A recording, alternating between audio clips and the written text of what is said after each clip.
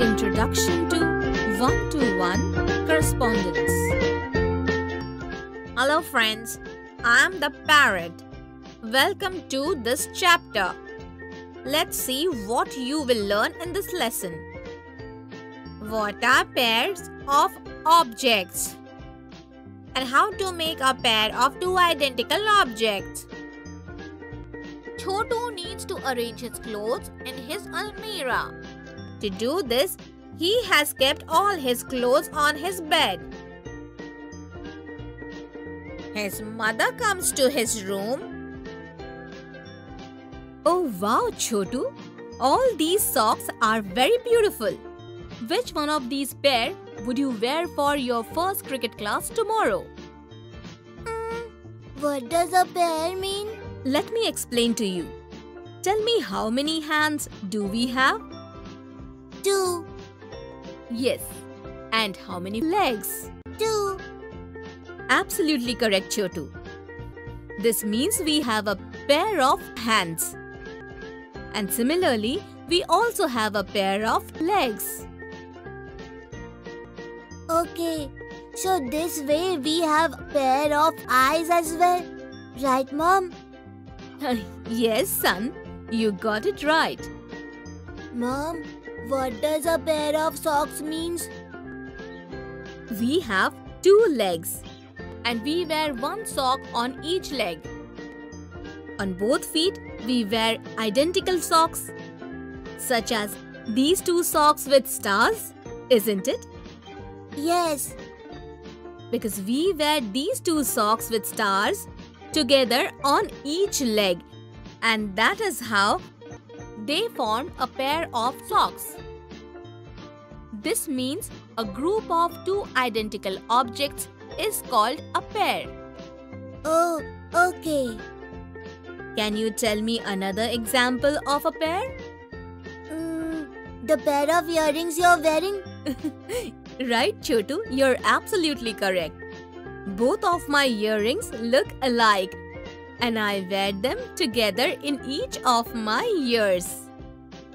So these two are also in a pair.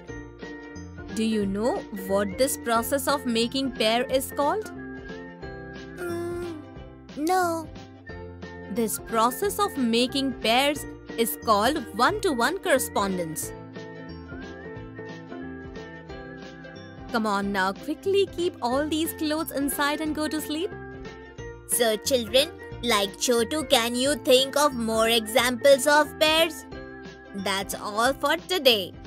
In this video, we learn what are pairs of objects, how to make pair of two identical objects, and the process of making pairs of objects is called one-to-one correspondence.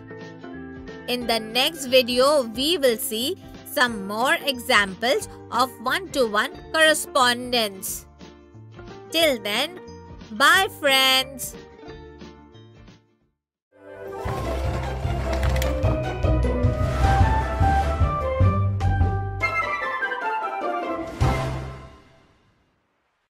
One-to-one correspondence. Interesting examples part 1. So children, in the previous video you have learned what are pairs of objects, how to make a pair of two identical objects. And this process of making pairs of the objects is called one-to-one correspondence. And in this video, we will see some more examples of one-to-one correspondence in which we will create pairs of two objects used in the same task. Today is Chotu's cricket class. He can't find his bat and ball. He asks his mother for help. Mom, do you know where my bat and my ball are kept? Yes, Chotu, they are on the chair. In a hurry, you forgot that you had placed them on this chair. Oh, yes. Thank you, Mom. Your pair of star socks looks very good. Thank you, Mom. Do you know that just like these socks are in a pair, your bat and ball are also in a pair? But how, Mom? These socks look the same and I wear them together. That's why they are in pairs. How are these bat and ball in pair? I will explain it to you, son. You use the bat and the ball together while playing cricket, don't you? Yes, Mom. That means two objects which are used together in a task can also be called a pair. Oh, really? Can you tell me more examples of such pairs? Yes, why not, son? Look at the paper and pen placed on that table. We use both these things in writing, which means This means pen and paper also form a pair. Yes, Chotu, you are absolutely correct. Now, can you tell me examples of more such pairs? Um, pant and shirt. Yes, Chotu. Pant and shirt are also a pair. But Chotu, can you tell me that how these two are also in a pair? Yes, we wear pant and shirt together. So both of them are in a pair. Isn't it, Mom? yes, Chotu, very good. Come on now, quickly get ready for your class. Otherwise, you will get late. Children, can you also identify such pairs around you? That was all for today's lesson. In this video, we learned how to make pairs of two objects which are used together in the same task. In the next video, we will look at another interesting example. Until then, goodbye friends.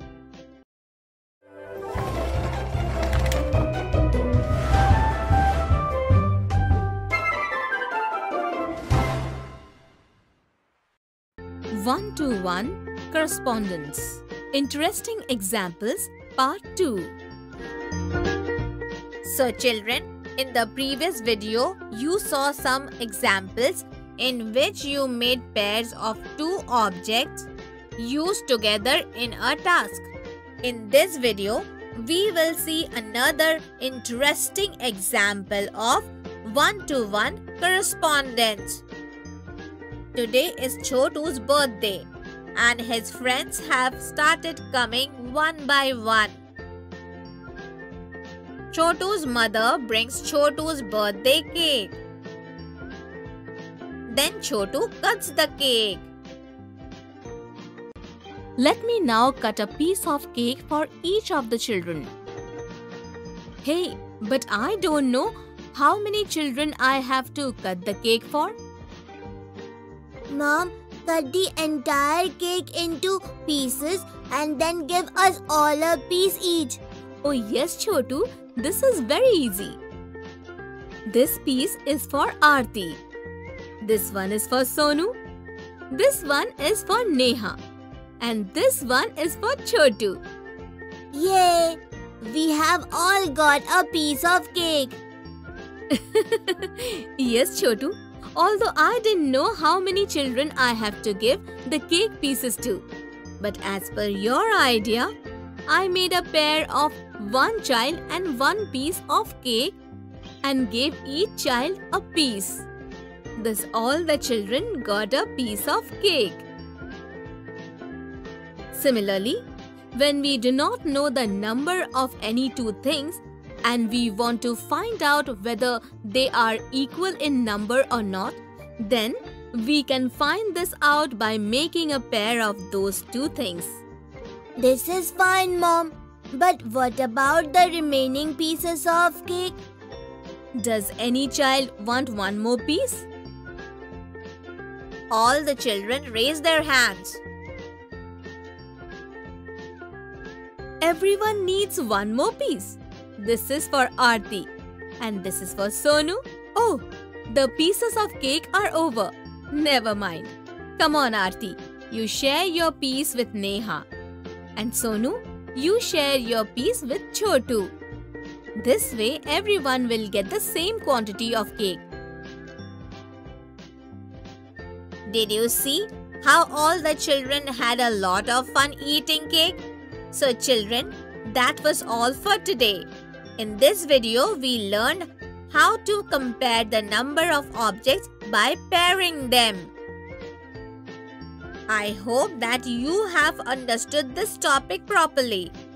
Bye friends.